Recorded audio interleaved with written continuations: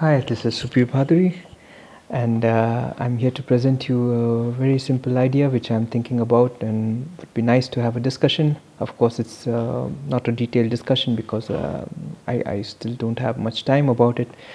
Uh, what you can see on the screen is a simple PET bottle. Often these uh, end up in a garbage dump or landfill because uh, um, these are difficult to recycle or pass on to recycling companies. Uh, the other option is uh, they are put into incinerators where some energy is recovered after burning them. And the third option is to recycle them which is good but it takes um, I, I, don't think it's very efficient the collection system. And um, it's it's a difficult process to recycle these. So what you can what you can do is instead of throwing these away to the dustbin after a single use one can actually think about upcycling it. The upcycling can be in the field of construction of certain projects or in decorations, for example. Um, this is what I'm really interested in, is, is, is, the utility of this great resource of plastic which we have around our, uh, ourselves. We have created it in the first place and now we must find a solution to use it or to make good, good reasonable use of it. So, in terms of construction, the first thing that comes into my mind is the idea of uh, bricks.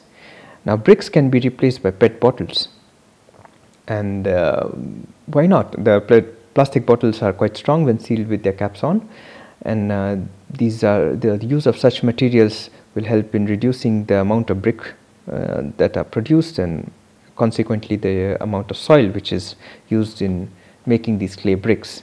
Uh, these are also great insulators since they are filled with air and also are very light by weight.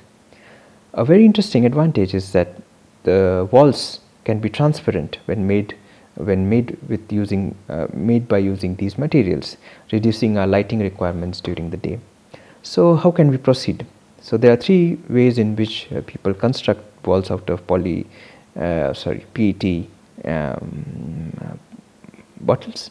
The first thing is natural stacking uh, in which they they fill bottles with plastic or other waste and uh, seal them off with the caps on and stack them over uh, each other. The inner gaps are filled with uh, cement or uh, clay. Another method is currently being promoted by certain companies where they collect these plastic bottles, they melt them and uh, reshape them, remake new plastic bottles which are geometrically uh, more uh, suited as to perform as bricks. But the problem with this kind of collection and remolding and reshaping is the amount of energy that goes in the transportation collection, uh, remelting of these plastics, and then again redistribution. I really feel that it would be better if we could do the the brick making ourselves as a crowdsourced uh, activity. Mm. and uh, whoever needs can hire some people to do it. Uh, it would be better for the economy also and also reduce uh, the the whole complexity of the process. So we come to the third point which is how to make our own polybricks. So polybricks is a short form or a common word I think is very popular in the YouTube on the YouTube is basically bricks made out of poly or, or PET bottles. So the idea is very simple. Uh, how can you make a brick out of PET bottle? I, I mean the first thing is PET bottles are thermoplastic. So when it is heated, they will they will when they are heated they will turn soft for the time being. Such a plastic bottle will shrink when heated which is the exact opposite of how it was supposed to be originally when made when made by a process of blowing. So it was blown into this shape and now it wants to shrink back. So it's kind of a memory uh, memory that these plastics have. And uh, if we apply pressure to a plastic bottle while it is being heated, it can also expand and take the shape of a mold.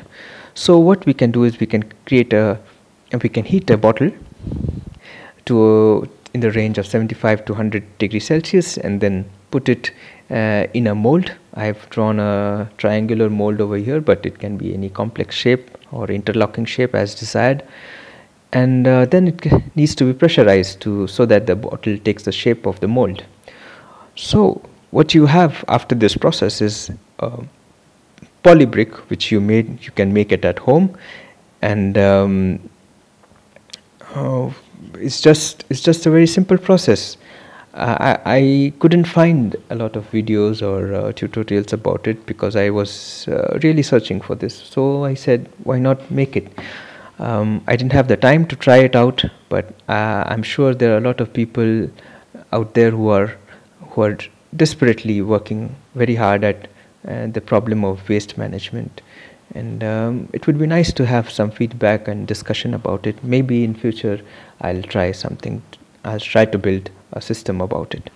So the next time, uh, would you throw your bottles away or uh, upcycle them into something of use?